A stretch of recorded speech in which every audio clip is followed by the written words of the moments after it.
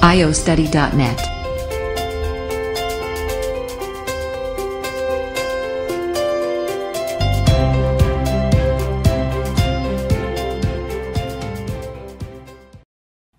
Hello everyone, my name is Danielle and today I'm going to go over the conditional sentence type 1 with you. So today, here we have the conditional sentence type 1 in the middle. We have three things to talk about. Usage, form, and inversion. Let's first talk about usage.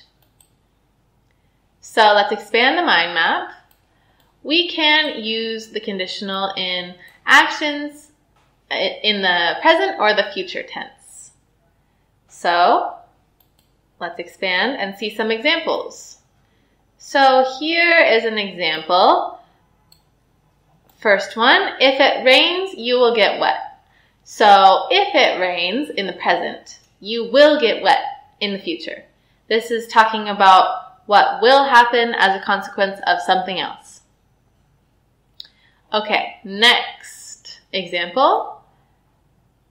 If she comes, I will go with her. So if she comes, I will go with her.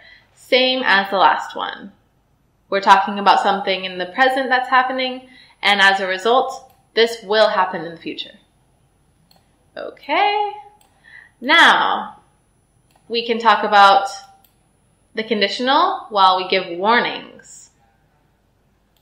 So let's expand this. First example of giving a warning. If you touch this bell, it will ring. So this is a warning telling you what will happen if you touch the bell. Next, if you drop those glasses, they will break. Again, another warning. So there you go. Those are some examples of sentences and how to use the conditional. Now let's talk about the form.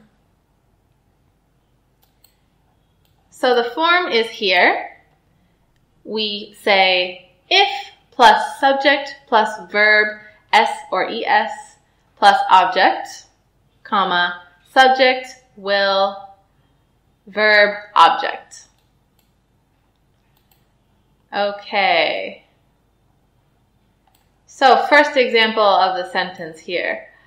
If I find her address, I will send her some more books. So as we can see, this does follow the same form as it is here. If plus subject plus verb, s or es plus object, she plus will plus verb plus object. Okay, next example of the sentence.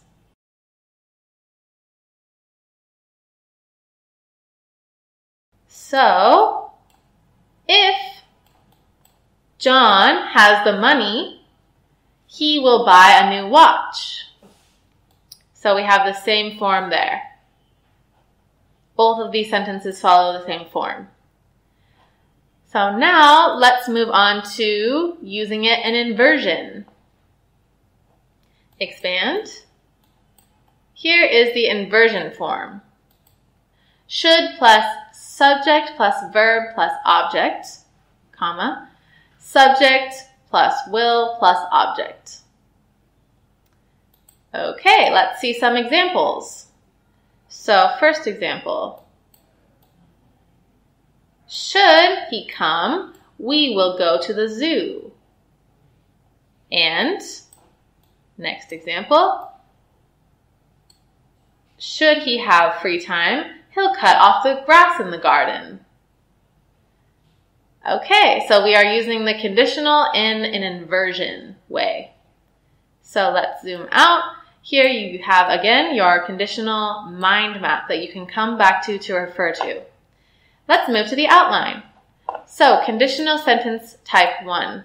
Here you can scroll through this and see some additional explanations and examples of sentences you can read through this before you take the test. So in the next video, we're going to take the test together and explain the answers. In this video, again, we talked about the conditional sentence type 1, we saw the mind map, and you will now read the outline. So thank you very much. I will see you in the next video for the test.